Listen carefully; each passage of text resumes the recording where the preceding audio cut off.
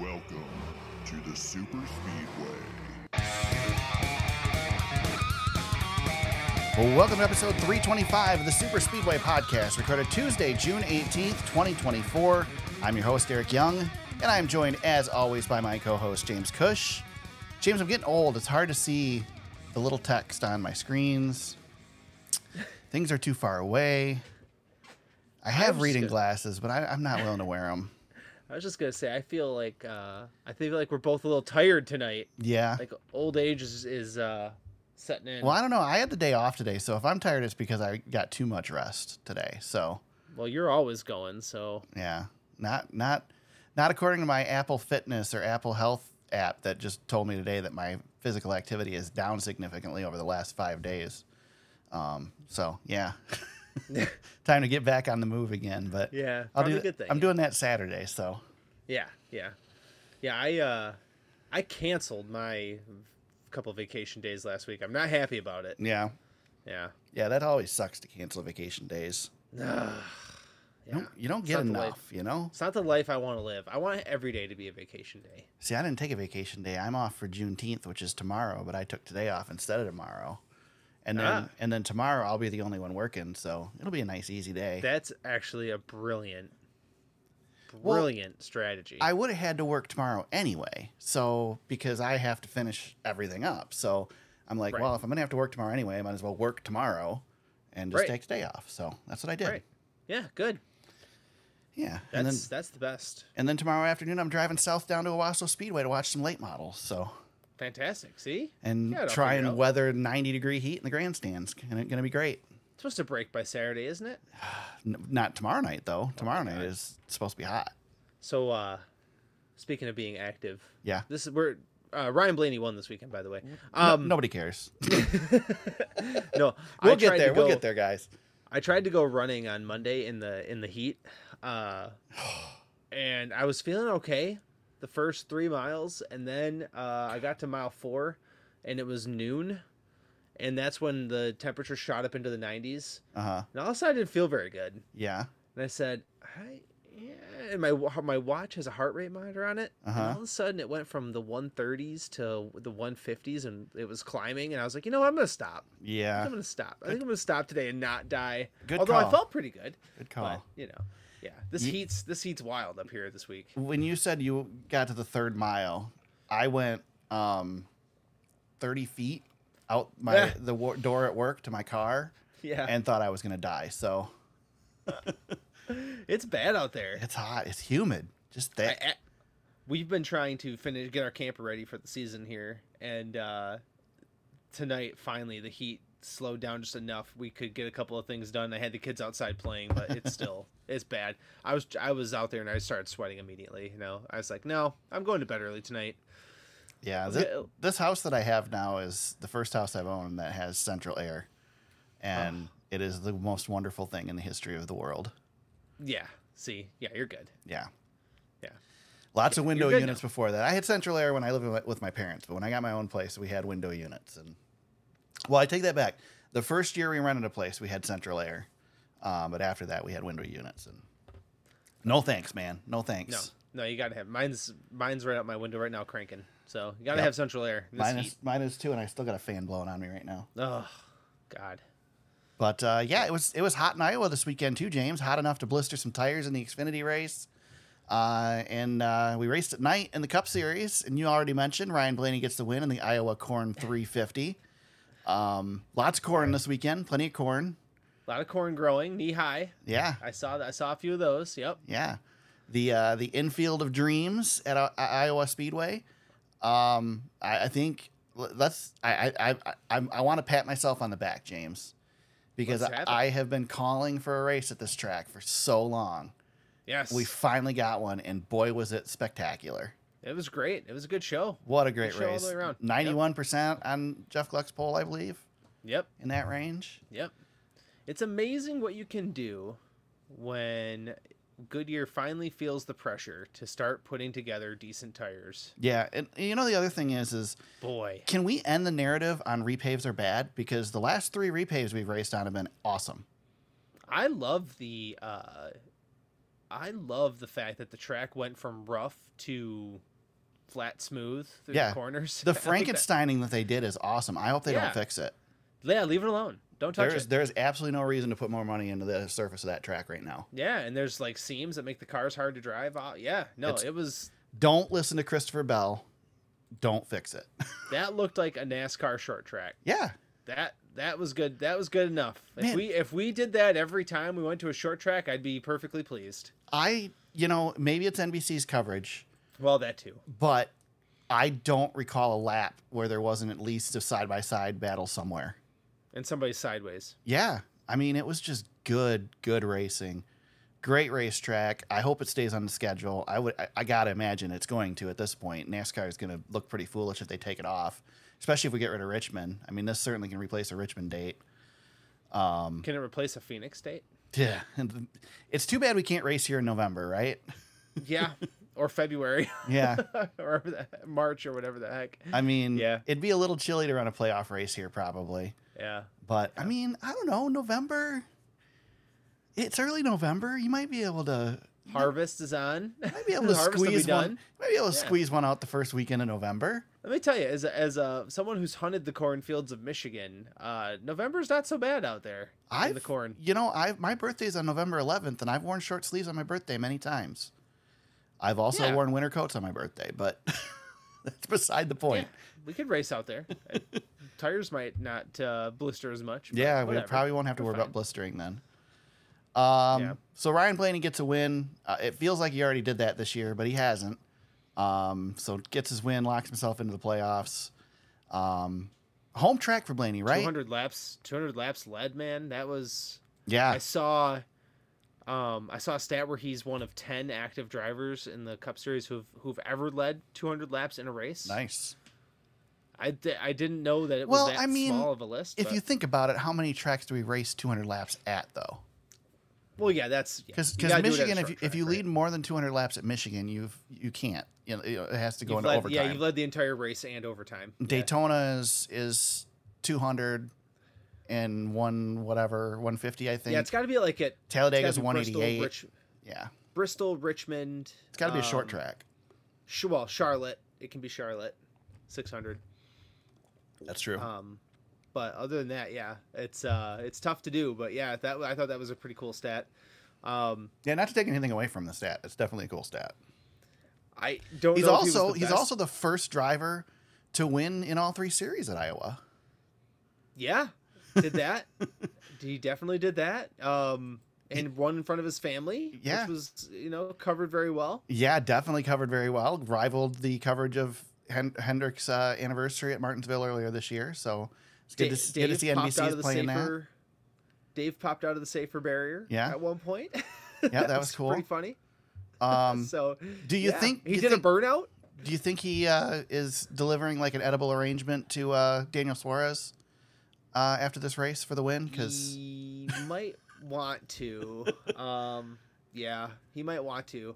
Who? Well, that was one of the questions I had. Yeah. For you, Eric, was so everybody's back and forth on whose fault was it, right? Mm-hmm. yeah, And I've gone back and forth myself. Like, at first, I'm like, well, no, Suarez lost control of his race car and it caused a wreck. And then I thought, well, Larson was faster than everybody by a mile. Why was he sticking it in there? And then I thought, well, that's what Kyle Larson does. right. he's always he's always going to be, you know, ultra aggressive. So I don't know if uh, if it was just Suarez's fault for slipping or what. But yeah, that that changed the entire complexion of the race Yeah, for sure. af- after the weird pit call where they brought him in for a flat tire that wasn't flat. Right. So, Yeah, well, so Um, I I was kind of bouncing around through this race. I, I started it delayed and was trying to catch up. Yep. So I, I skipped some stuff, a lot of the pit stop stuff.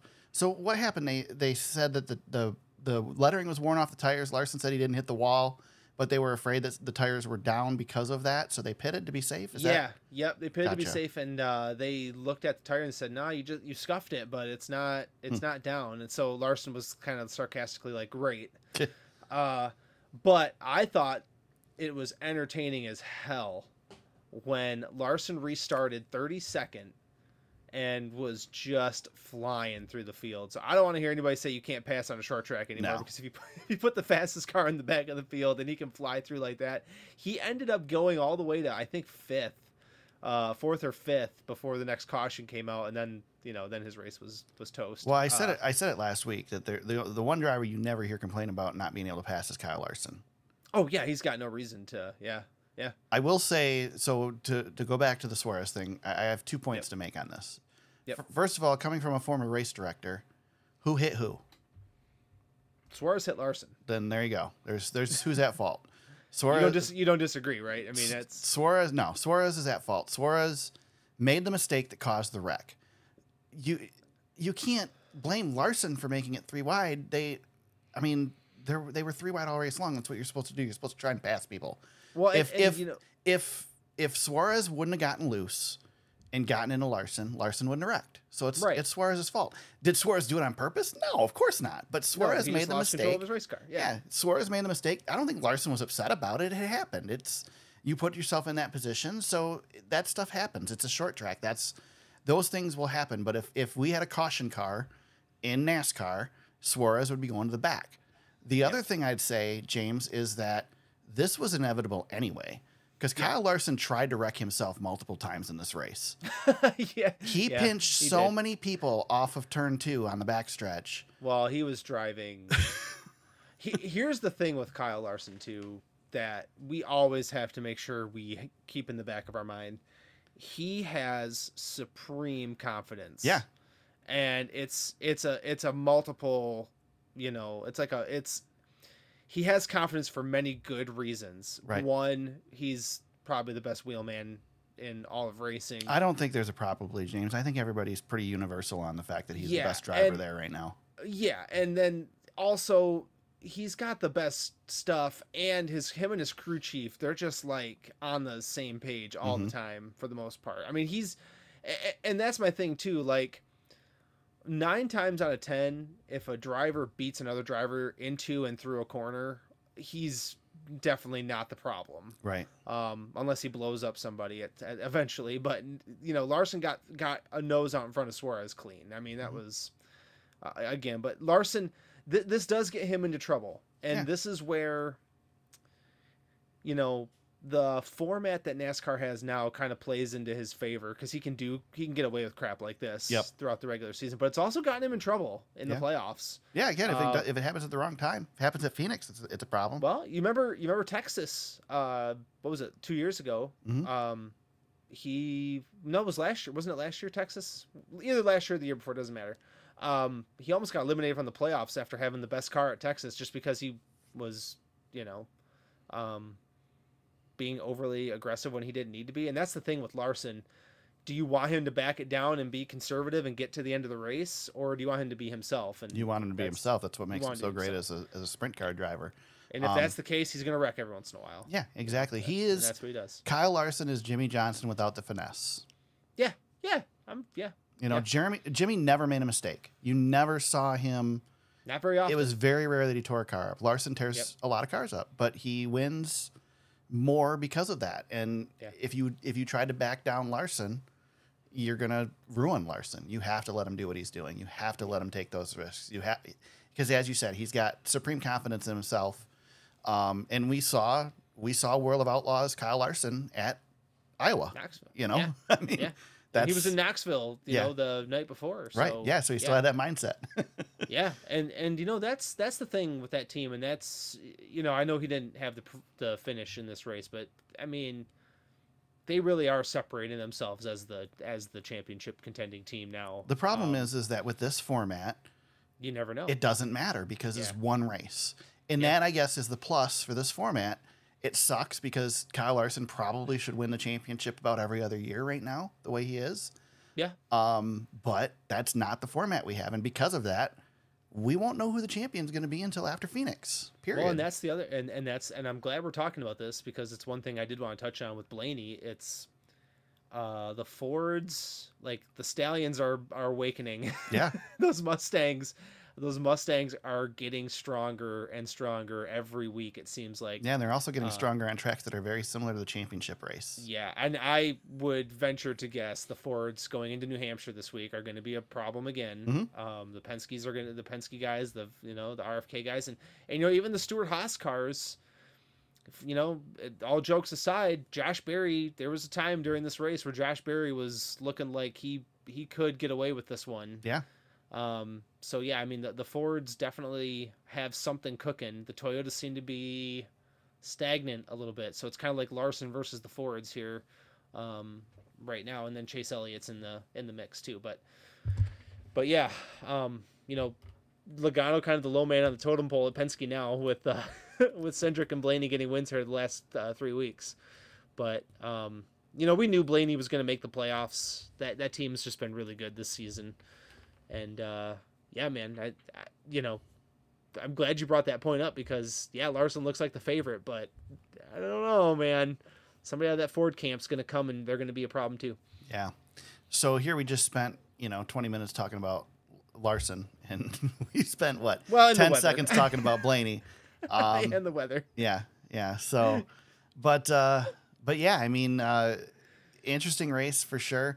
Um, certainly, I mean, I, I, again, I would say that, you know, here's a, here's 200 laps led out of a 350 lap race, but it didn't feel like a domination. I mean, honestly, it felt like Larson dominated more than Blaney did, even though Larson Yeah. only led 80 laps. But I mean, I guess that's because those two led almost all the laps, but still. Yeah, they did. Yeah. yeah. Um, but the racing behind the leader was excellent. Lots of passing, lots of three wide. Every restart was insane. Um, The track, the, the new pavement was wide enough that you could get you could fit three cars and still have breathing room, um, which was great. But uh, yeah, overall, just uh, very interesting. Um, William Byron quietly gets himself a second place finish, sneaking up on Blaney at the end, chasing him down. He, yeah, he needed that. Yeah. Um, he's had he's kind of had one of those William Byron, um, you know, he- Slumps. yeah, like a. I don't know what that, that slump's probably the best way to talk about it. He comes and goes. Yeah. Um, he gets hot and then he cools it down. And then he gets hot and cools it down. And right, right now he's kind of he's had fast race cars, but not the best luck. And then you know you don't hear from him for a couple of races. So yeah, that was probably a good showing for him. Um, I saw this stat too. Ryan Blaney has 11 career wins, uh, four second place finishes for William Byron in those 11 wins. Interesting. Yeah, I thought that was another interesting uh, stat. I'm not sure why they find each other out there, but um, yeah, getting close, getting close to 50 percent when you've got that total. We've uh, we spent a lot of the season talking about William Byron. We spent a lot of the season talking about Kyle Larson. We spent a good chunk of the season talking about Ryan Blaney. But what about old three third place here this weekend? Chase Elliott, once again, Yeah. strong Yep. performance. He's doing Yeah, what he needs to do right now. Putting together a good season. He's the uh, best average finish in the series right now, and the points leader now. Yep. Um, so yeah, he's. I'd say he's probably a step behind Larson, but Yeah. um, this is what he does, man. This has The been Chase difference is, is that. Larson's inconsistent and Chase is consistent. Yeah, Chase doesn't rack up the wins at this point, but this is this is his whole career, man. Chase Mm-hmm. Elliott, look at his racing reference page, and you're gonna see a lot of seasons with 20 plus top 10 finishes. Yeah. You know, and, and even last year where he missed seven races, um, he missed seven races and still had 15 top tens. Right. yeah, that that's what that's what Chase Elliott does, man. He's just always around. Um, may not have the winning car, may not lead the most laps, but he's gonna you know he's gonna get through the day and and get through and that's kind of how he won his championship too he was you know um just a strong season and and showed up when it mattered and that's that's kind of how he rolls Um, Christopher Bell complained about the track, but got a fourth place finish. Uh, Ricky Stenhouse Jr., fifth place finish, top five for Ricky. we should have seen that one coming Yeah. he's yeah, he's got a lot been- of lot of uh, success here. yeah he's had a lot of iowa success and all of a sudden i saw him lead, leading a couple of laps i'm like holy cow stenhouse he's up there No. Uh, Josh Berry, seventh place finish, strong day. Uh, fifth and second in the first two stages, led 32 laps. I thought Eric at one point. I mean, I when he got the lead at that uh, um, when he when he did, I was like, "Holy Yeah. cow!" I think I think Josh Berry's could win this race, and then you know Blaney took over. But Right. Yeah, But, when yeah, that when Larson went good. out, I'm like, oh, this might have just turned the right direction for Josh Berry." yeah, Yeah, I thought for sure he might have a shot at it. They they they might not be out of the they might not they might not be done yet. We might hear from Josh Berry again here um, before the season's out. Uh, Todd Gilliland has announced that he's continuing on at the 38 car. Uh, 12th place finish for him. Another one really strong. He had one point to, during the day. He looked like he'd be a contender. He's always around. It's Yeah. weird. Yeah, we've talked about that multiple times on the show. He is just Todd Gilliland's just around. He went from basically having his car taken away to the top performing car at front row. Yeah, yeah, yeah. He is. Yep. It's incredible. And uh, just Justin Haley, 13th place finish for him. He was in Uh, the top ten for a long time too. Yeah, great run for Rick Ware Racing. Yeah, Um, stage point in stage two. He got he was he was up there. Yeah. Uh, Noah Gragson ran well um, on the weekend, but didn't get the finish out of it. 16th place finish. Was involved in one of the uh, cautions that may not have been a caution, but probably Yeah. should have been a caution. Um, but uh, yeah, strong in practice, fastest in practice for Noah. Uh, but didn't get the qualifying set, qualifying done, and that kind of cost him throughout the day. So Yeah, and some of the Stewart Haas cars did look fast. Like Chase Briscoe looked fast at one point too in this race, um, and over the weekend, just not didn't get the finish or didn't have the race results that they wanted, but um, signs of life still in that organization for a little bit longer. I think. uh, you know a car who wasn't fast. Denny, yeah, I know which one you're talking about. Denny. Hamlin. Yeah, yeah. What, what garbage was that thing off the I don't know, but when they pit strategied him into the top ten, that's when he got wiped out with Larson. So yeah, but interesting to uh, see what he could have done up front. he didn't have anything. He's, I- he claims that he was he was much better. So ah. he, he, Okay, suppo- he went forward on the run before it. Yeah, Dennis. Okay, he was getting lapped all day. He getting lapped all day. I don't. I never saw one bit of strength out of that He went a car. lap down in like 25 laps. Oh, he was bad. So Really bad. Speaking of bad though, KFB, Yeah. uh, Kyle Busch. Um, They're in a free fall right now. yeah, he's had a weird week again. Um, we'll talk about him in a little bit. Yeah. I don't know. I'm just looking at his numbers really quick. Um, this is the worst he's been now. This stretch. Well, it's the longest it's the longest losing streak he's ever been a part of. Yeah, and his since Darlington. So Darlington, he's gone 27th, 15th, 35th, 12th, 35th. Yeah, Two DNFs in that stretch. that's rough. And that 12th would have been a fifth, um, but Chastained. Right. Um, Chast- Chastained him right out of the top 10. uh, so, ah, yeah, this is the worst stretch of his, probably his career right now. The only one who might have had a worse weekend is AJ Allmendinger, who tried to knock the wall down twice. Yeah, a lot of tire issues for him. Yeah. Yeah. Uh, let's talk a little bit about the tire issues in this race, James. We saw some. Uh, it wasn't Bristol esque. Uh, it wasn't Indianapolis esque. Uh, good with what we saw in this one. Heck yes. Yeah, Yeah. I'm, I'm with you. I, Yeah, I think we need more. I think we need more wear on the left sides. Obviously, 130 some laps on the left sides for Ryan Blaney at the end. Um, Yeah. That we need something better there, but we're going in the right direction. Had a 350 lap race, and the tires on the right side were really struggling after about 100, what, 100 laps? Yeah, about 90 to 100 laps. It was That's about perfect. pretty good. Yep. That's what you want. Yep, maybe That's even a little want. less. You might might be able to even take a little bit more off of them. Uh, you know, we've been screaming and kicking and crying for Goodyear to do something for so long. The fact that we've got signs of life, I'm Yeah. actually not even going to comment. Yeah, it's a it's a I win. Am, I am completely satisfied with what Goodyear's got going on right now. I hope they have another good showing at uh, um, at New Hampshire this week. I know they're changing the compound a little bit uh, going into New Hampshire, but I yeah, I'm hopeful. Hopeful we'll have another good run um, this week. There you go. Uh, anything else with the Cup race at Iowa that's worth mentioning before we look at Xfinity? Yeah, don't take it off the schedule. Come back. Yeah, definitely, definitely come back. Um, yeah, You know what great place. else I saw, Eric? Besides the good racing, which I think we were all on board for good racing. Um, remember when the when the draft was in Detroit? Yeah. And remember when the Lions were really good over the not not that not that long ago. Right. Oh, what a what a time to be alive. Um, but Michigan fans were starving for some sort of success. Heck, even the Michigan football team, I'll even throw them in there, even though I don't want to. Yeah. Um, but remember, the draft comes into town, and just attendance is crazy. People are going nuts. They just want high quality sporting things in their city. And every time NBC zoomed in from from on high at that racetrack, that's what that reminded me of. Yeah. Those fans showed out because NASCAR major sports were in their were in their backyard. And that that's a that's an area of the country that really will show up for you. And that's that's what I saw and I, I hope we continue to reward them for it because that was really good.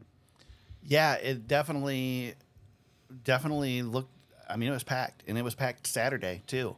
Yeah. Um I mean it was it was great to see that sort of um that sort of response from NASCAR fans. I, I mean they Brett Griffin mentioned it on Door Bumper Clear this week that like there name another sport that can build a racetrack in the middle of or build an, a, an event center in the middle of freaking nowhere and their Yeah. fans will show up. I mean, Yep. this is in the middle. If you look at the map, I mean, it's on a highway on the way to places, but it's in the middle of nowhere. It's in the middle of a cornfield. Um, you know, Michigan's in the middle of nowhere. Um, is. Kentucky's in the middle of nowhere. Like we, they build these tracks. Yeah, Darlington's in the middle of nowhere. These these tracks out in, Pocono. Yeah. Um, shoot, you want to leave the NASCAR series? Look at Eldora. I mean, Eldora's in the middle of freaking nowhere yeah, Eldora is. Yeah. and and they pack the place. I mean, it's they it just absolutely amazing. Race fans, yeah, race fans, they want to see a show. And, you know, Iowa, kudos to Iowa and everybody involved with that track for all these years. And, you know, the IndyCar series, they've, they started to build something there with the IndyCar and making it more of an event. NASCAR didn't uh, so much need the event as they just needed the show. Bring the show to town and, and we'll support you. Um, and it was just cool to see, man. It was it was like a fever pitch out there from what I could see on TV. I was really happy for him to see that that excitement. The only other thing I will say though is that yes, it looks full because there's only about twenty five thousand Well, yeah. seats in the at the place. And that's all you need, though. That's- Exactly. I mean, we don't honestly, we don't need two hundred thousand people in the grandstands anymore. Um, fifty thousand max ish, except for the big, you know, except if, for the big ones. if we wouldn't have taken the tracks that we did and built them up to the level that we did, and then t- when when the when we were, you know, popular because we were the cool thing to do, nobody would even complain about attendance right now. Nobody would even acknowledge the fact that attendance is down. It's just because we tried to accommodate the people that that wanted to be here, and now they don't anymore. But it's still a huge crowd. I mean, twenty four thousand people is a good crowd. yeah, and I, and I think that I think that sentiment's starting to fade away. Yeah, Um, I think people are like, you know, this is is what it is now. We're we're settled in to to comfort. Yeah. Did you see? Speaking of attendance and, and seats, Mhm. sidebar. Uh, this was making the rounds on Twitter. I should have sent this to you. There were plans, um, and they uh, somebody had the somebody had the blueprint on this, um, and shared it on on the Twitter. Uh, Chicagoland at one time was considering grant making grandstands go all the way around that facility. Yeah, I remember that. Chicagoland Speedway. I was like, I I had never seen the picture of what that could have looked like, and I was I was flabbergasted because that's a mile and a half, Right. you know, intermediate with a, with Well, grandstands all the way around. Michigan That's was two miles and almost had grandstands all the way around it. Michigan had the backstretch was the only area that was open. I mean, And- and think they- about if- Daytona. What Yeah. Daytona used to be. Yeah, You know. yeah, it's crazy. Yeah, but yeah, I saw the the rendering and I was like, it looks like Richmond. so many, Right. So many grandstands around the track, but yeah, yeah, pretty cool. Um, Ryan Blaney, you mentioned 11th uh, victory, 323 Cup Series starts. Um, Chase, uh, I'm sorry, yeah, Chase Elliott, points leader, eight points over Kyle Larson. Uh, Josh Berry, seventh place, was your highest finishing rookie at Iowa. There you go. There you have it. NASCAR Xfinity Series was in action the day before. The Hy-Vee Perks 250. Sam Mayer with the win on uh, on Saturday. Um, I think uh, if you wanted to uh, if you wanted to praise NBC at all this weekend, all you had to do was praise that shot of Riley Herbst getting out of the car with Sam Mayer doing donuts in the background. yeah, that was, was- artistic. That was good stuff. Good stuff Yeah. right there.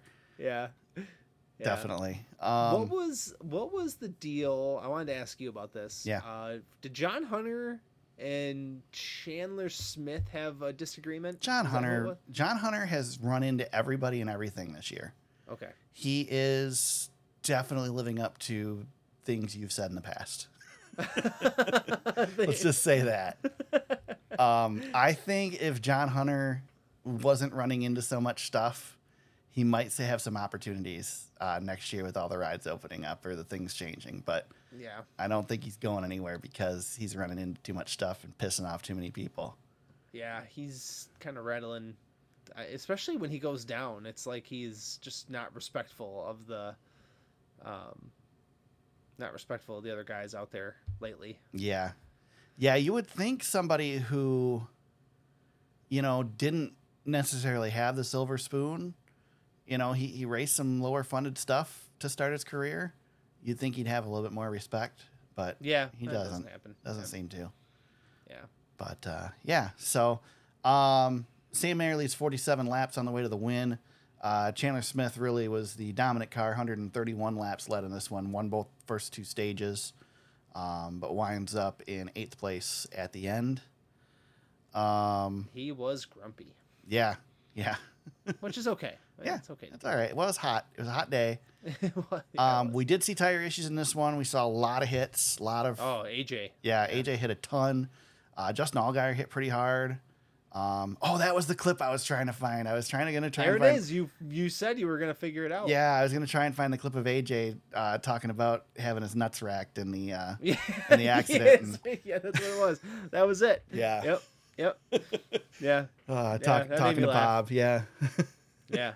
Good stuff. But yeah uh, AJ never AJ's never short on uh, no pun intended. AJ's never short on uh, on funny things to say. well, to be fair, this is this is an inside baseball thing for the for the casual fan that doesn't realize it. Um, nine times out of ten, when the drivers get out of a, out of the car winded after an accident, trying to catch their breath, it's not because they had the wind knocked out of them. It's because they have a belt that goes right through the crotch, and it hurts. Yeah. Corey LaJoie, famously, when he was on the ground, looked like he was in tears after hitting Ryan Newman at Daytona. Was not because he hit Ryan Newman. It was, it because he of the la- air in his chest? It was for sure. because of his the belt between his legs. Jeez, that's enough of that conversation. Yeah, that's that's how you keep a driver in the seat when they hit at you know 20 G's. Thank you, AJ, for taking us down that road. Well done. Yeah, there you go. Um, yeah, I don't know really what else to talk about this. I think it was a good race. Uh, the tire problems definitely were more of an issue.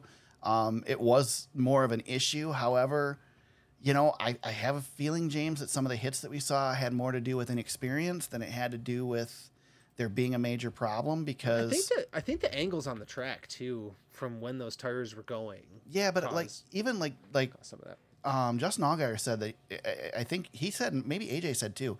They had a warning. They had a lap warning. They knew something was going to happen. Yeah. Um, so maybe lift, give it a lap.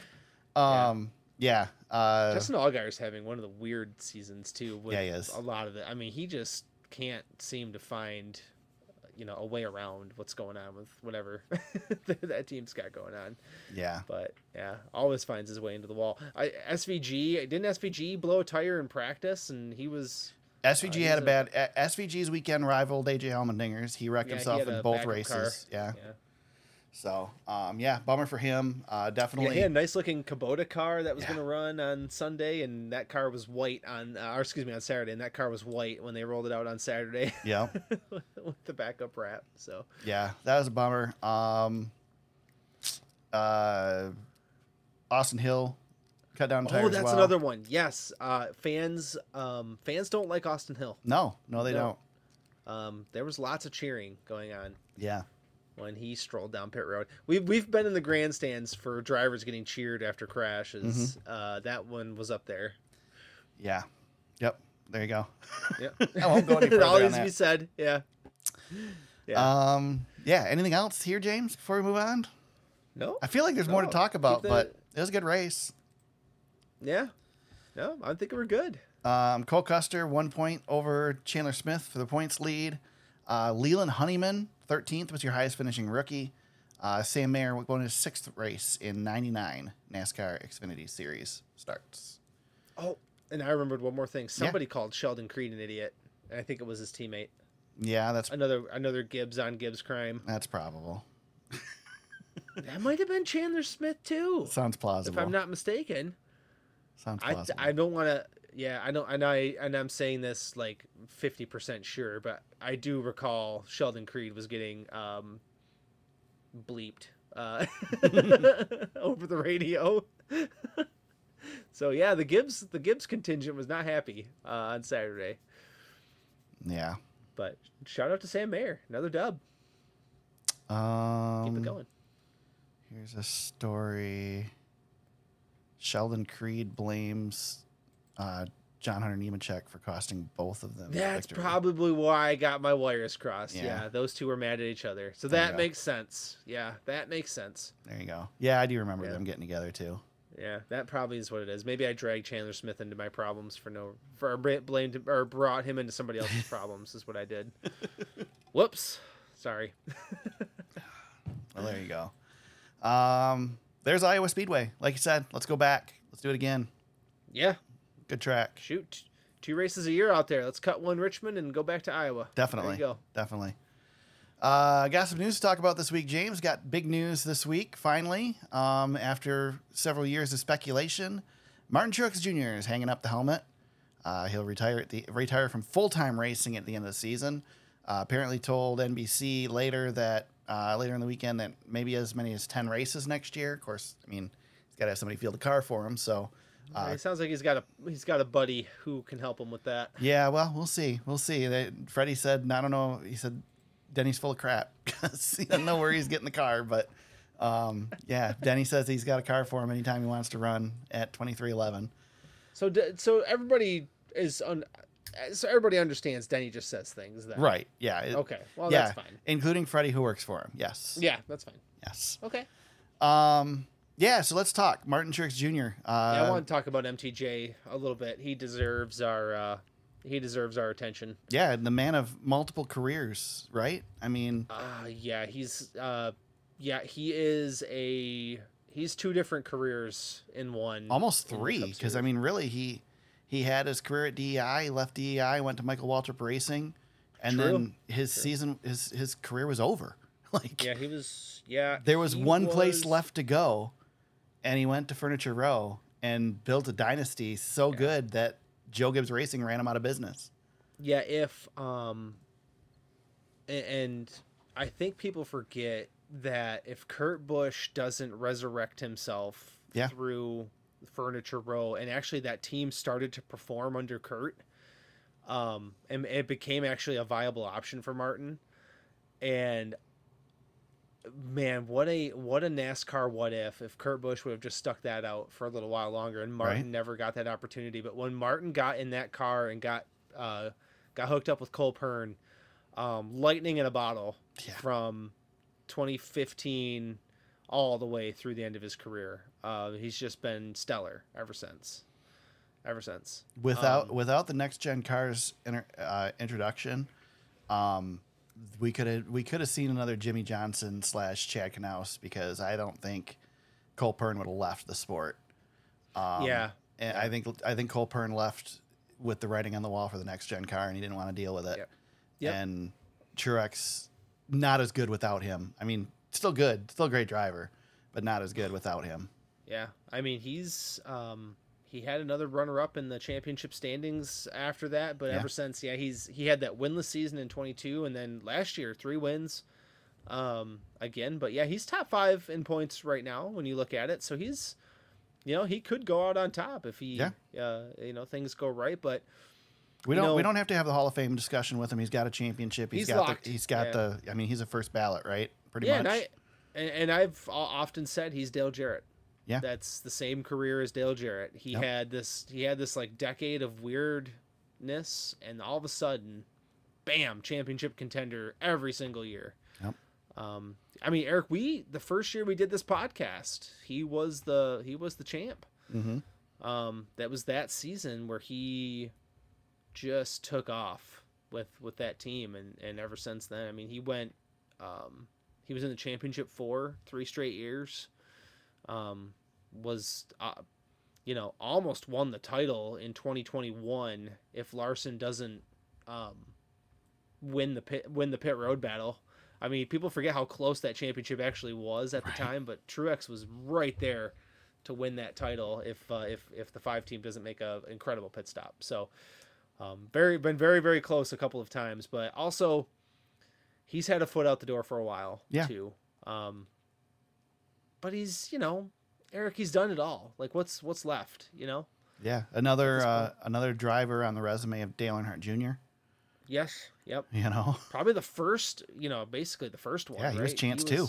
He was Chance 2, and then uh, did a lot of driving for Dale, and, and came up through the DEI program, and um, a lot of iRacing with Dale.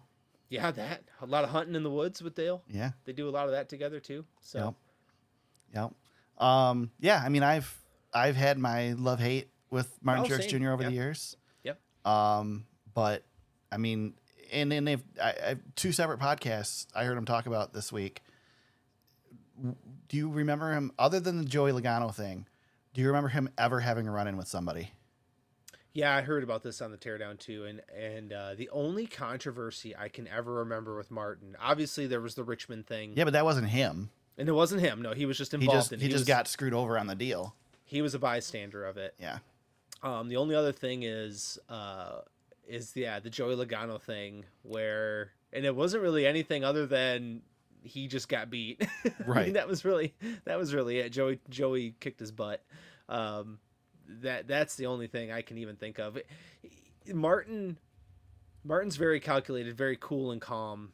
Um, except when there's lap traffic in front of him and then he's screaming uh, on the radio. But um, just you know, I I think too, Eric, similar to Kevin Harvick, respect of his peers, like that's hard to find. Um, I think that's something we're not going to have as much of along the way. Uh, you know, guys like him are going to become more and more rare, but you know, he's got uh, he's got a legacy that he's leaving behind. That's for sure. I will say there is one other confrontation ish that everybody has forgotten about Martin Truex Jr. And it was 2005 Oh, you're going way back. in the NASCAR In the Busch, Busch series. Series. He got pinched on the backstretch by Mike Wallace. And remember, his car went up on the wall and he rode the wall all Yes, the way around that. turn three and came down Yep. off of it. Yep, I. Spectacular crash. And he was pissed at Mike Wallace afterwards. His quote, according to this ESPN article, I don't know. Maybe he's blind. It's just ridiculous. We don't need this stuff happening. Yeah. yeah. So Yeah, I remember that. I remember that. Yep. Yeah, he rode the wall. It was yeah, completely on his side. Walking toward so- walking toward the track to the delight of fans, apparently stalking Wallace. Truex watched the entire field go by, but didn't see Wallace until he had diverted his attention to pit road. When he Yeah. finally noticed Wallace going by, it was too late for him to do anything but flip his finger in the air in the direction of Wallace.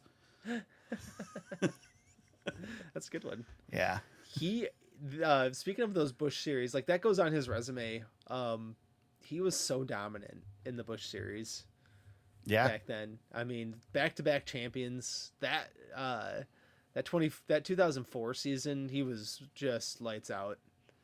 Just absolutely lights out. Yeah. Incredible Um, career.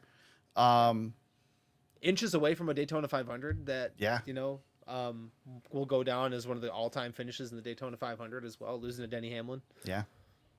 Very very close. Um, so James Small said this week uh, the the decision every season on whether Martin's coming back or not. He called it distracting. Yeah, Um, Probably not wrong, but is that kind of a slap in the face to his driver? I thought about that, but I don't know if Martin would disagree with that. Yeah. I don't know if he would disagree with that, Eric. I think he. I think he know. I think that, and I think that's why he's stepping away. I think he knows it's it's time. Well, I He think he's I think he's stepping away because there's a really good driver available right now for that car. Really Oh, good yeah. potential driver. We're going to talk about that in a few minutes. And- um, I, I think that has more to do with it than anything. and It's know, called he- it's called crap or get off the pot is what it is. Well, yeah, and that's and that's what happened last year. I that that's something I haven't heard talked about a lot this year or th- this time around either. He went deep into last season Mhm. and not knowing what he was going to do. yeah. Um, and, and that'll wear that'll wear on a team. I mean, we see that Eric. Yeah, but the Green so Bay and they the mentioned Green Bay Packers have this. yeah. All the you know with Brett Favre and Aaron Rodgers, like these. You know, They mentioned it on DBC though, and I kind of agree with them. That is that is a Joe Gibbs issue. That is a sponsorship issue. issue. that's been an issue. But with no, them, but though. that's that's something they need to worry about. The crew chief's job is to make the car go fast. yeah, yep. So I don't I don't know. I I I thought this was a disservice to Truex. I think this is you know, there's already questions about these two and how they get along because the way they talk on the radio and they've sat here and multiple multiple times dismissed the the claims. Um, but then he makes a comment like this in the media, and it's just I don't know. I I, I didn't like it. I, it's that it's that poorly with me. Just a bad Yeah. time, bad timing to do it. I think. Well, there's a lot of that going around. Yeah, that's true. I- that's true. I, I don't. We can talk yeah. more about that in a minute too. I, I don't think James and, and Martin have a bad relationship with each other. You know, I don't think Um, so either. I think I think that I think that Martin can be prickly though. Well, I think- I, I think they have a working relationship. Yeah yeah I don't think they're gonna be best buddies outside of the racetrack. No, Um, but it's yeah it's definitely it's but Martin that's that's Martin's personality too. I think he I think he is a little bit prickly. Um, I, s- I saw And- saw an interview recently, James, and I know this isn't NASCAR related, but it kind of fits in here. Um, the the famous magician duo of Penn and Teller, they did an interview and they said they're not friends, and people were shocked Oh, by yeah. that. It's like Yeah. we're coworkers. We've we've worked together our whole lives, but we don't we don't go hang out. We're not friends. yeah, Like, I'm not your friend. Just because you're a coworker doesn't. Yeah, right. we hate each other off the air. yeah, yeah. we don't talk all week long and message Yeah. back and forth about stuff. Well, think about how many how many of your coworkers you're actually friends with. Right. Yeah, no, it's true. You don't have deep friendships with too many of your coworkers over the years. Right. You know, every once in a while. This is no different. Yeah. Exactly. I'm sure he's probably still friends with with Pearn. Yeah. Maybe maybe not. I don't know. Who knows? Yeah, I don't know. He is friends with Dale Jr. Right. So that we know. Um, so most likely to fill the 19 seat, we're going to talk about this until an announcement is made, and word is an announcement could be coming pretty soon. Uh, Chase Briscoe is the favorite to fill this seat. What do we think of that move for? What do we think of that move for Chase? What do we think of that move for JGR? And do we think this is what's going to happen? I love this for Chase. I think it's good for everybody, right? I think so. I I think so. And he brings a sponsor. He's Yeah. got good relationships. Um, gonna lose that Ford. Uh, Right. lose that Ford backing he's had. Um, But no, you're get, you're a- getting a guy. So we've we've I mentioned a couple weeks ago on here. The talk is that it takes five years to learn this next learn in this series now, yeah. um, because of the limited practice and all that. Well, he's going. He's he's I think fifth year next year or this year. I can't remember which. Yeah, fifth year. Yeah, he started uh 2020. Um, Yeah. because he came in before the next gen car. Yeah. So you're getting somebody who is now the the training is done. He's ready to win. He's ready to compete. You're Mm-hmm. bringing a veteran into the seat, and probably not real expensive veteran. That's right. You know, although Chase said this weekend that he had, or said on Sirius today that he has multiple offers on the table. Um, and of course, until this is signed and announced, we he could go anywhere. Unless Um, the other offers from Hendrick, it's uh, come on. Right? Yeah. Where else is he gonna go?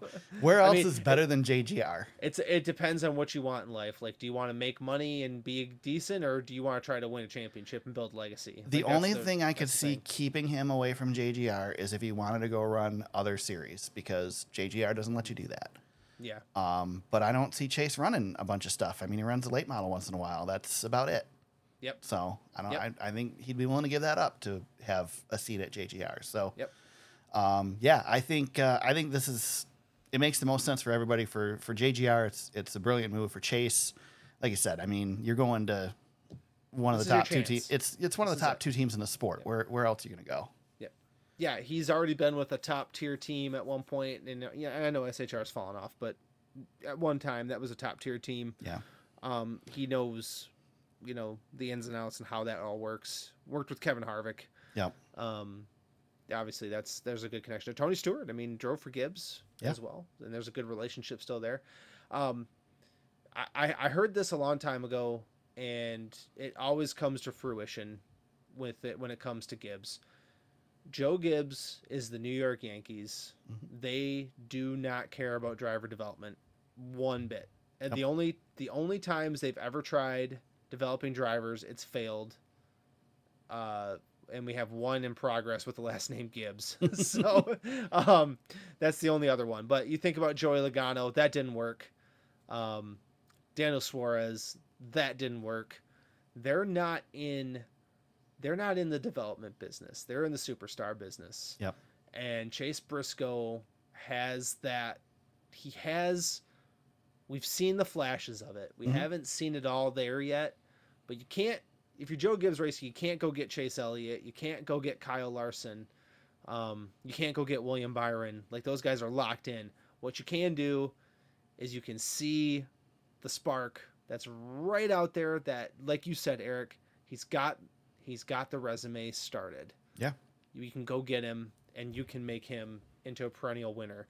Uh, and, and I think if it, you know, we're going to learn everything we need to learn about Chase Briscoe in the next two years if if he goes to, to, to Joe Gibbs Racing. Well, and, and you mentioned Joe Gibbs is the New York Yankees. We'll know in the next two years because if he doesn't do what he needs to do, they'll boot him. He'll be out. Yeah, he'll be out. You know. Yep. You, you don't you don't last at JGR if you're not competing. Yep. And I know this upsets the Toyota pipeline, but that's the that's the thing. Joe Gibbs doesn't care about the Toyota pipeline. Yeah. They want to Well, win races and win championships. DBC hinted this week that uh, the Toyota pipeline, which right now probably at the top of it is Corey Heim, uh, people aren't very high on Corey Heim, and which is weird. I, I Yeah. he can drive. Corey Heim can drive. Yeah. Chandler Smith can drive. Yeah. Like, those are I, I think very highly of those two drivers. Um, there's nowhere for them to go. Yep. Especially if you're going to bring in an outside driver to come into the to the to the big seat. yeah, we you know these JGR doesn't want a rookie in this in the seat. They've got a they've got a young driver right now in Ty Gibbs. They don't want a young driver in the seat. They want a veteran, and they're getting Yep. one. Yeah. Yeah. So And uh, you know, there's other veterans out there, yeah, but Kyle Busch. Well, yeah. it, it that that's the thing. Like, where's the upside? You know, at some point, you're you know all the pieces that you had mentioned. You know, cost, sponsorship. Um, Chase Briscoe. You don't have to worry as much about sponsorship with Chase Briscoe. He's got you know he's got uh he's got a strong backing. Yeah. Um, and he's got good personality. I think people forget. I think people forget that too. I think he can. I think with with JGR's help, he can do some good stuff over there. When uh, when he dumped Denny Hamlin a couple years ago at Indy, do you ever think they'd be teammates? yeah, yeah, yeah. That's a good one.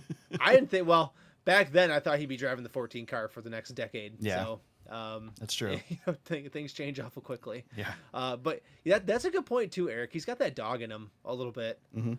Um, people forget how good he was in the Xfinity Series. I mean, he went toe to toe with Kyle Busch at Darlington. That really put him on the map. Yeah.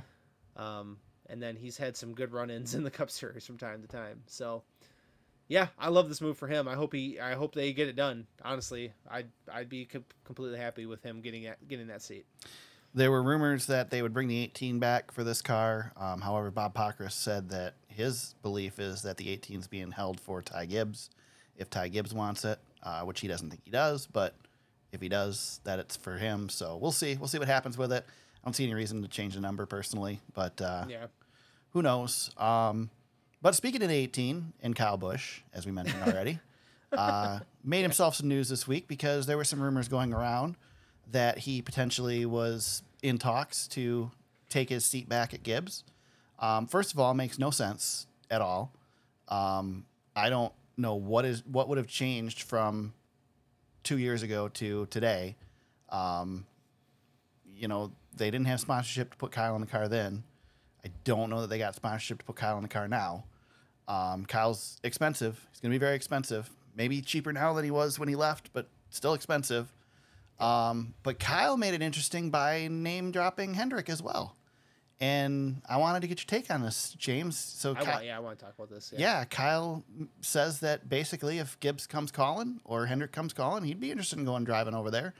But right now, he's committed to RCR and, and building that team up. So, what are your thoughts on Kyle's comments? And uh, yeah, what do, what do you got on this? Well, this is interesting. Yeah. Um, Kyle's definitely what the the honeymoon phase with RCR is is dead. Mm-hmm. Um, they're they're full blown in marriage mode Mhm. at this point, and Kyle's not happy. He No. is not. He is not happy. He's not winning. Um, that being said, Kyle says things with his mouth that a lot of drivers just keep internalized. hmm And I would be willing to venture a guess that every driver in that garage area, if you said, "Hey, Hendrick or Gibbs, you want one of those seats?" Uh, everybody in the garage is saying yes. Yeah. so it's not a problem with what Kyle thinks because it's obvious. It's the fact that he put his team in that situation now, and he's already PO'd um, with the situation he's in. Uh, I, I, it's just a bad look for him. And like you chose to go there, man. You had other options. Um, you know, you're st- you're kind of stuck until that contract runs out, and that's basically what he said. But Well, you you know, know, you know what I, reality. you know what I think this was about. I What's think I think this was more than Kyle Busch isn't Denny Hamlin level savvy with his words, No, he's not. but I think this is a Denny Hamlin type move. This is Go on. Go on. So Kyle has my Planting under, seed. my understanding is that Kyle has a no talk clause in his contract. Yes, I saw that. He cannot true. talk to anybody else. So, what better way to tell people that you're interested than to tell people you're interested? Well, and that's the thing, right? Come get me. yeah, that's what this is. This is okay. I'm under contract the rest of this year, um, and and next year. and next year, because they picked up his option. right? But come with some money. Put some money together. Come buy me I'm- out, or, or or come get me, and- when when that year's over. I, who who who is putting together the deals for Kyle Busch? Because that's a problem, right? Yeah. That's a problem right there. Why would you give if you're Kyle Busch, multi multi time champion, one of the best ever? Like we can all agree, Kyle Busch is a top ten Oh, yeah. driver all time. Yeah. Why does a team have an option on him? That should not ever be the case. Kyle Busch should 100% of the time be able to negotiate his own way. Yeah. However however he wants. He should never not have the power. Kyle, And that Kyle famously lost his ride at at uh, Hendrick because of who was negotiating for him. So. And that's the thing like the whole Gibbs thing was a debacle from the start and we we hashed that out over that entire season. What in the hell is going on with Kyle Busch and why can't you get something done unless you don't want him? Yep. And now it's like, well, RCR definitely wants him enough to the fact that they picked up his team option because they're not going to let him go. Um, but he don't want to be there. Right. So, yeah, there, we're uh, this could get messier than. Um, eh, I, let's just let this is this is only the start of this. yeah. This whole thing's not going to go away Yeah. and that team can't be happy. Like, what if you're the guys on that team? You know, Yeah, he came to work with you. Yeah, I'd be pissed too. If I was Childress, I'd be pissed. Well, he's been pissed at Kyle before. That hasn't stopped him. you're Austin Dillon. You're probably pissed because all the good stuff's going to the A car, not yours. Right. Yeah. Um, yeah, he's definitely the odd man out over there. He's always been that fit has always been oil and water a little bit. Mhm. Um, but they were winning last year, so it kind of camouflaged some of that. right. and you don't see it. Then when you get you get your ass kicked a little bit, you start to see what people have Figur- going figuratively on. Figuratively and literally, right? Yes, he's getting his ass kicked many many places right now, on and off the track. Yeah. So yeah, really interesting move though, Eric. I uh, I agree with you 100. percent It was a strategic move by Kyle Busch. the The problem is, is he should he he's playing checkers, not chess. Right. He should have th- he should have been playing these moves years ago. Yeah. And I, I mean, hon- honestly, I don't see him going back to JGR. I don't see any way that that works.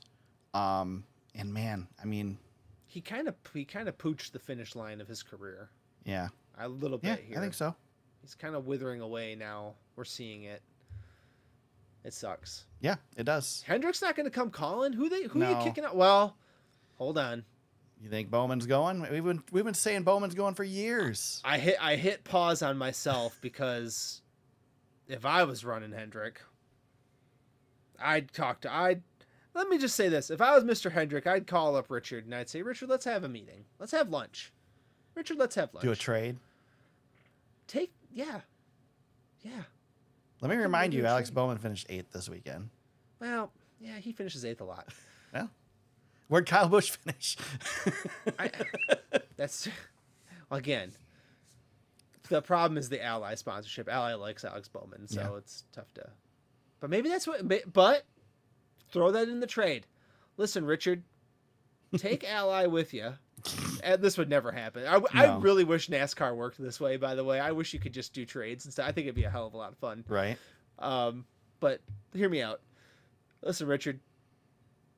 You get Ally and Alex Bowman to drive the eight, and give me Kyle Busch straight up. We'll figure it out. We'll figure it out. well, Hendrick's already signing the checks on Kyle Larson, so Yeah, yeah, yeah. Hey, both Kyles. Bring There both. Kyles in. Yeah. They're getting enough Napa money. They'll be fine. right. I tell you what, ha- ha- Rick, Rick is not losing any money on that Larson deal. No. If they had three million dollars to spend on that whole double debacle, um, that yeah, Hendrick's not losing money on that. they ain't losing money on that guy. Um, let's do kind of rapid fire through some silly season rumors. Let's knock it Uh, out. we'll do one at a time and just quick comments on it. Uh, these are rumors. Most of these were from DBC this week, but um, hearing them elsewhere as well. Yeah. Uh, rumor: Josh Berry, Cole Custer to Front Row Motorsports uh, for next season. What are your thoughts? As long as you get uh, Rodney Yeah. with, well, uh, and Josh. and Josh and Rodney want to go together, so I love that, by the way. I Yeah. love that. yeah, me too. Me too. Yeah. I think there's an upside with those two. Um, Cole Custer, I don't know. I mean, doesn't surprise me to see him get another shot, but it's not like he's setting worlds on fire in Xfinity. Then again, I mean, he won the championship. yeah, but then again, I mean, what I does know. it? I know is- what you mean, though. what is I- ex- Not that I disagree with you, Yeah. by the way. Well, what does Xfinity matter anyway? It doesn't because they're now so when you're Cole. Custer and you went back down, right. it's yeah. Uh, Noah Gragson to a third RCR car, bringing bringing Bass Pro with uh, extra money from them because they're going to likely leave JGR. Noah, Noah was being flown. Now uh, we know the Chase Briscoe thing's hot. Like, Right. That's that's that's in the works. Uh, there was that rumor that Noah would be a good fit at the 19 because they could keep the Bass Pro thing going. Right. Um, but Bass Pro has a good relationship with Richard as well. Um, who knows, man? Maybe maybe Richard will drop that option. Right. Bring in Noah Gragson. Yeah. I mean, Who would you rather have, Austin Dillon or Noah Gragson? I know this wouldn't happen either. that's really tough, actually. It's actually tougher than it should be. Yeah, because Austin has won, He's won big races too. and is is Austin? He's been the- it- terrible for two years. but is Austin the problem at RCR, or is RCR the problem at RCR? At what point? Okay, well, let's do it. At what point we can't let Austin have a free pass? Right. I know RCR is bad, but he's, I mean, he's not doing himself any favors. Let's just put it that way. Yeah. I don't know. I mean, I like Noah over there. yeah, Why not? I could see. I mean, it He definitely. I, fit in with that culture over there. I feel like the culture is good. I just wish RCR was better Yeah. Oh yeah, I agree with that. because I I fear that Noah goes over there and he's irrelevant. Yeah. Yeah, you don't want that. No. no, I mean here's right now. here's a guy uh, with the resurgence right now after Yeah. a terrible rookie year. Where does he? Where could he go where he could keep some of that momentum going? Though that's the other thing. I mean, third car at twenty three eleven. They would they want him? I don't Corey know. Heim would Corey Heim would get that seat, wouldn't he? I don't know. Maybe not now though. That's the other thing. Third car at RFK. Brad's not doing that though. We No. know that. Brad said he's thirty million short, so he's not he's not buying a charter. Um, Dale Jr. said this week that that ship sailed. Yeah, Trackhouse isn't happening. Trackhouse has their Trackhouse has too many people. The Trackhouse is worse than Toyota as far as the pipeline right now. We're gonna talk about Justin Haley. Um, if Justin Haley doesn't go to Wood Brothers, Noah to Wood Brothers actually would be a pretty nice. Yeah. because you can keep get him in the Penske pipeline there. Yeah, that'd be interesting. Yeah, the rumor is Justin Haley's going to Wood Brothers. Um, They I should don't do that. I, the Wood Brothers should do that. Yeah. Now, Justin Haley is.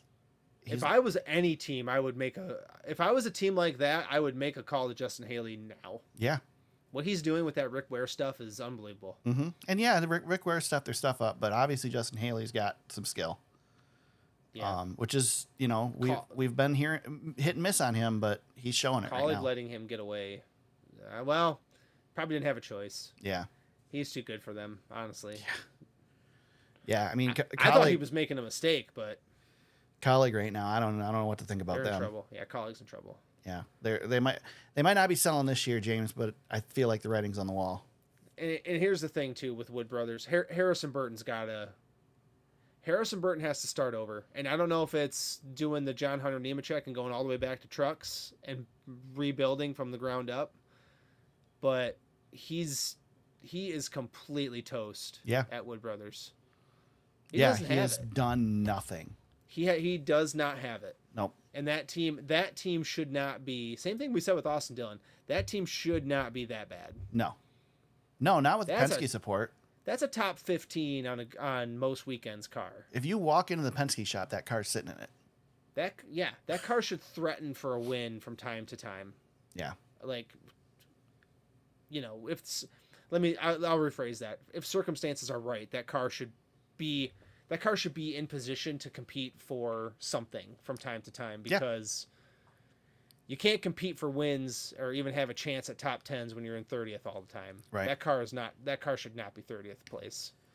Yeah, that car is more more irrelevant now than it's ever been with with Harrison Burton in the car. I, I would love to see, honestly, and this is probably bad. I would like to see the Wood Brothers move Harrison now, and Yeah. see what they've got for the rest of the year because Yeah. it, it's done. It's done. That's done. Yeah. And if he wins a if he wins a super speedway race, right. clip, clip this audio. That's I mean that's the only thing that saves him, right? yeah, that's the only thing that. And he's not. I don't even know. I don't even know if a win would save him at Yeah. this point. He's got. I'm with you. got- uh, unless they show performance week in and week out, he's Right. he's got to have yeah yeah anybody can win a speedway race. We know that, but man, he's not even in the hunt anywhere. Yeah. So There you go. Those are our rumors for uh, silly season at the moment. there you go.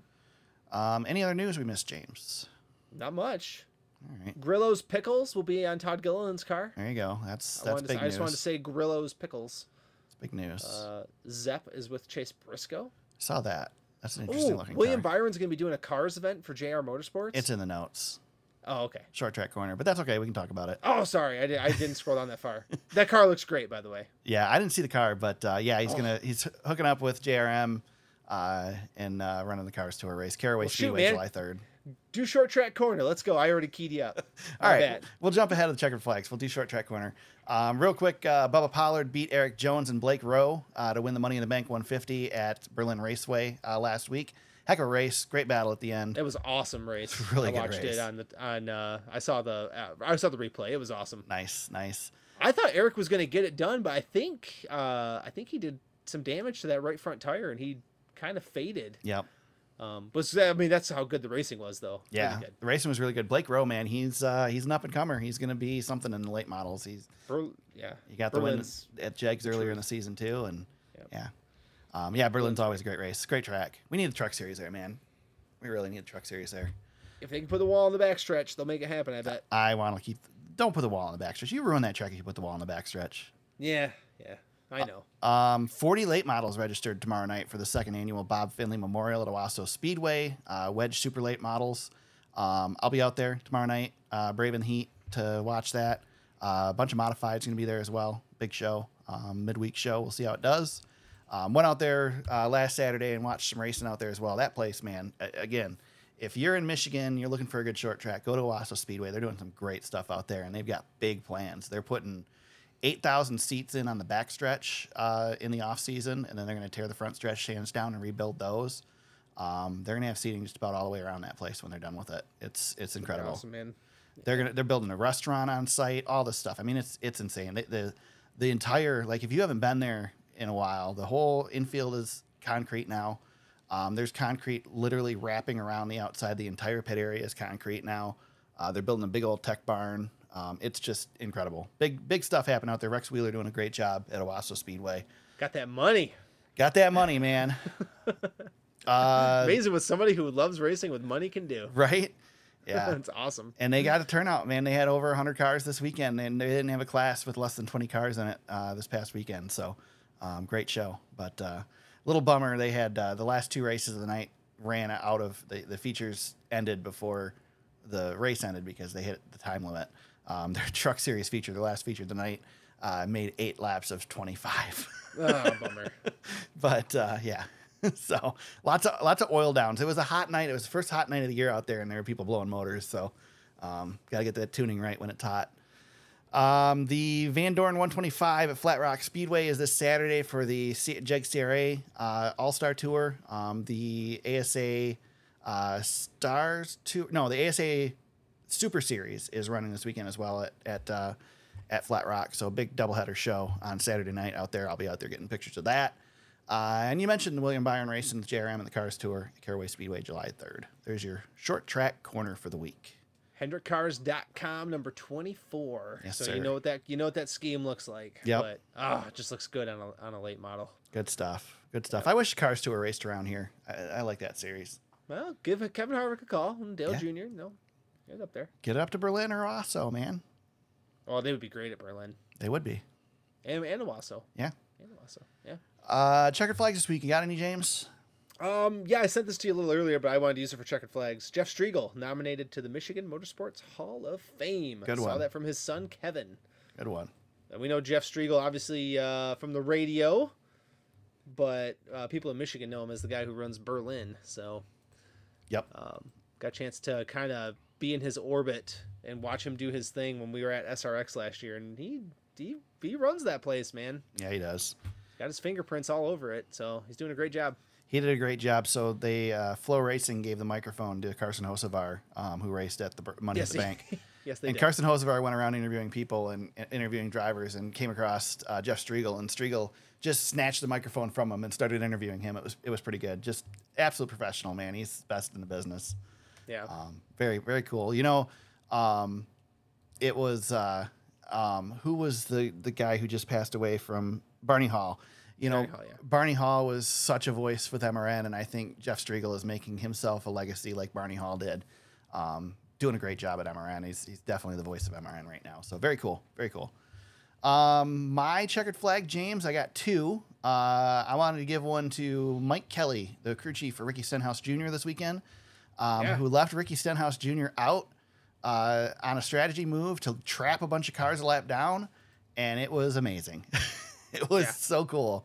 Um, very cool. I mean, there were only a few laps left to go on the stage, so I mean, it was a winning move no matter what yes, sir. the, why not get rid of the competition? And that's what they did, and uh, screwed up everybody else's day. But that's what you got to do, man, and got to got a top five finish out of it. So, um, good job for Mike Kelley over there. And my other one is uh, friend of the show, longtime friend of the show, uh, Todd Henry Jr., former coworker at Ah, uh. Tri City Motor Speedway. I knew this was going to be on there. It's his birthday today, so happy birthday, Todd. He, he's the first one. When I post the episode, it hits Twitter, and immediately I get a notification that he liked it or retweeted it. So, um, big thanks to Todd for supporting the show all these years and uh, and being a good friend as well. So, um, he'll probably listen to this at some point on the way to New Hampshire.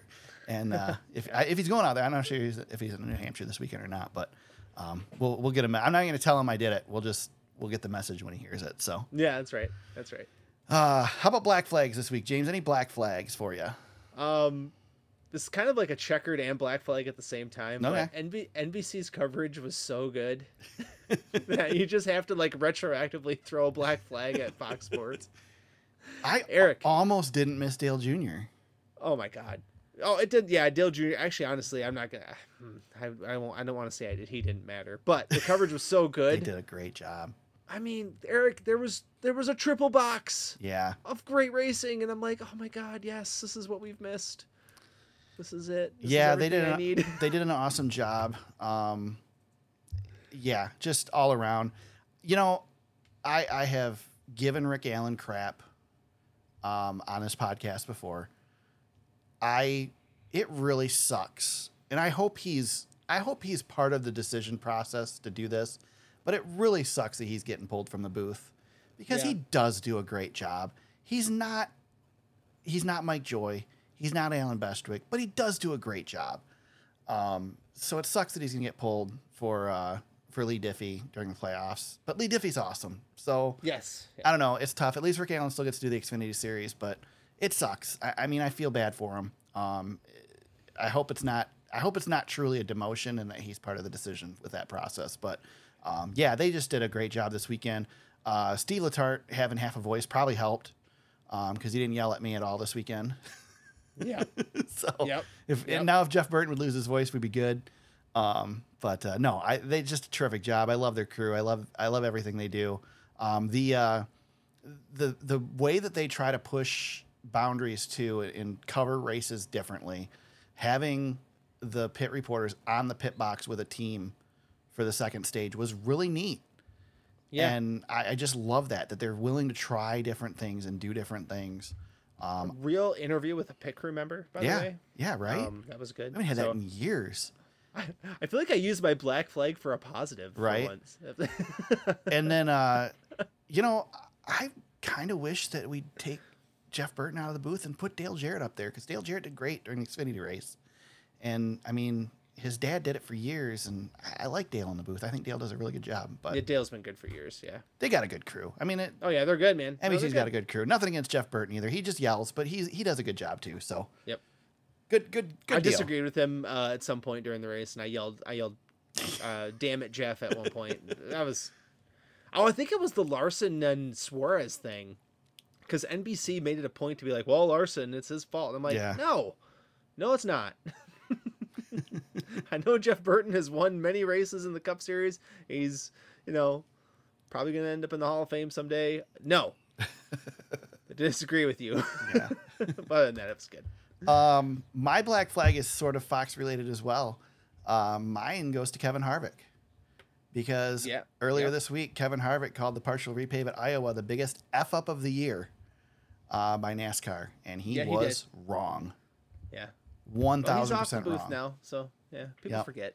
Sorry, Kevin, I love you, but you get the black flag this week for sure. This 'cause- podcast is always pretty fun. Like I see the um, I see the clips of it. Yeah, I have uh, not he's listened to an episode, but their clips are great. They do a good Yeah, job. does the same thing they do with Dale Jr. and they get the clips out there. Yep. So you get you get the you get the good stuff. Yeah, then they they put nice long clips out too. They're long enough to where you can sit down and watch it for a few minutes, but you aren't feeling like you got to watch an entire hour and a half episode. So they do a good job. Yep. Good Yep. podcast. I, I'll listen to Harvick talk all day long, Oh yeah, he's even good. if, even if he is wrong. Yep, he's great at it. Yeah, he is. He is, and he doesn't till he's back. calling IndyCar. Wait till he's calling IndyCar races next year. Yeah, right. Oh yeah, we didn't talk about that. IndyCar all on Fox. Big yeah, Fox the whole year. yeah, and NASCAR's not going to be on Big Fox during their part of the. Fox definitely mad at NASCAR. I, Yeah, I don't know, man. Yeah. That doesn't sit well for me. I know. You I know. apparently whoever's negotiating NASCAR's TV contract, same person negotiating Kyle Busch's. Kyle Busch's guy. Yeah. Yep. What Yep. the hell? Darn it. Yeah, there's that. There's a black flag for you too. Another one for Fox. There you go, Fox. You can have your IndyCar and you can screw up the Indy 500. Go ahead. Bring bring back Jackass Corner. that was a that was one of my better ideas. Um, let's. uh Should we plug? I I, I have fantasy league after preview New Hampshire. Do we want to preview it before or after? Uh, we'll we'll do it after. So let's, Yeah. let's preview New Hampshire. preview New. Hampshire Motor Speedway this weekend. Uh, NASCAR Cup Series on Sunday, 2:30 p.m. Eastern. The USA Today 301. Um, Saturday, the NASCAR Xfinity Series has the SciAps 2 200. Uh, 3:30 p.m. Eastern. Truck Series still off. Um, I'm sure there's probably K&N Series or, or whatever the the Pinty Series and modifieds and probably six modified races and motorcycle races and late model. Ra- they run usually about like 50 races at New Hampshire during the weekend there. So lots of racing. I'm sure if you're going to New Hampshire Motor Speedway this weekend, I won't tell you what the forecast looks like from looking at it ahead of time. So um, let's just hope that it's wrong. Uh, but we get to make our picks this week. James and I get to go first, and I'm going to make it real easy. Uh, I'm going Ford, and I'm going Josh Berry as my pick this weekend good. in New Hampshire. Yep, that's a great one. It's a great one. I was actually thinking Jolo, uh, but I thought about him, but I picked him last week, and I'm like, I'm not going to pick him two weeks in a row. I'm going to pick. Uh, I'm going to pick a, a guy who's in the news, Martin Truex Jr. There you go. He has been. You're picking a Toyota after you just said Yeah, Toyota I sent me out to I lunch. know, I know, I know, I know. No, I know what I'm doing. Trust me. No, he's been so. Just for the record, uh, I was looking at the last two starts at New Hampshire. Um, Martin Truex Jr. this is great. This is a great stat.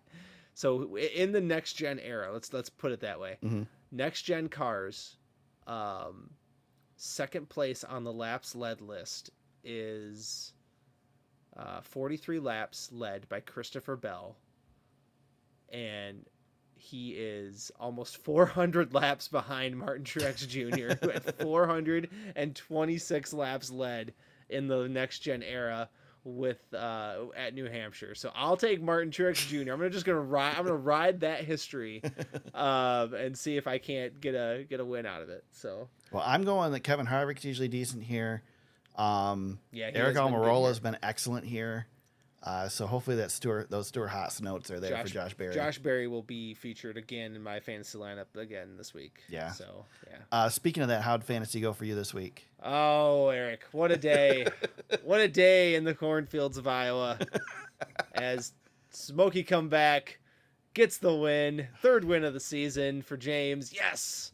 Uh, when Kyle Larson crashed, I for, for sure I thought I was in trouble, but no, Yeah, me- I think everybody had Kyle Larson, so you I think everybody did have Kyle Larson, so I get the win. Um, Smoking Grill Racing second, Hendrick Flair tie uh, third. Eric, you were tied for fourth, so I'll throw you in there. You're one point out of the podium.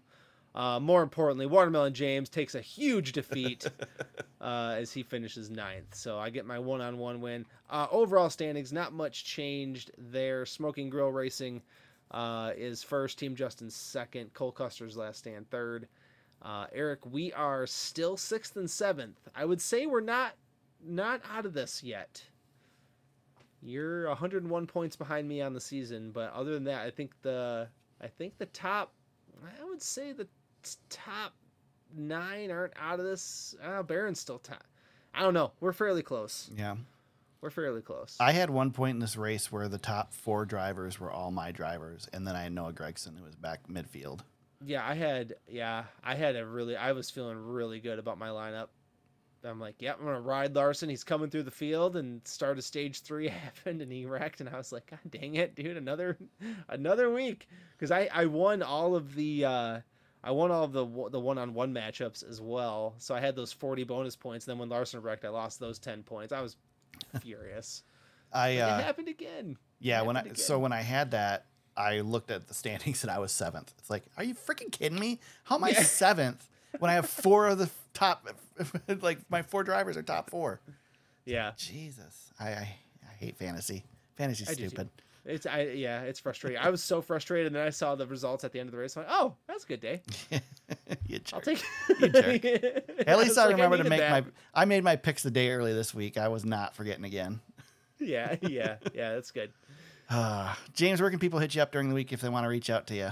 At James Kuch on Twitter. You can find me at T Super Speedway on Twitter. You can find the podcast on Facebook, facebook.com slash The Super Speedway. Our website is thesuperspeedway.com. You can find uh, the podcast on Apple Podcast, Spotify, YouTube, Amazon Music, Audible, and iHeartRadio. Uh, wherever you find us today, please subscribe and continue to listen for new episodes each and every week. Uh, and if you go to anchor.fm slash the super speedway, you can leave, an, uh, leave us an audio message and we might just play it on the show. Uh, NASCAR Cup Series in action uh, this weekend and Sunday at New Hampshire Motor Speedway. It is the USA Today 301 uh, Xfinity Series, the SciAps 200 on Saturday at 3:30. Uh, we'll be back next week to break it all down. Until then, everybody, let's go racing.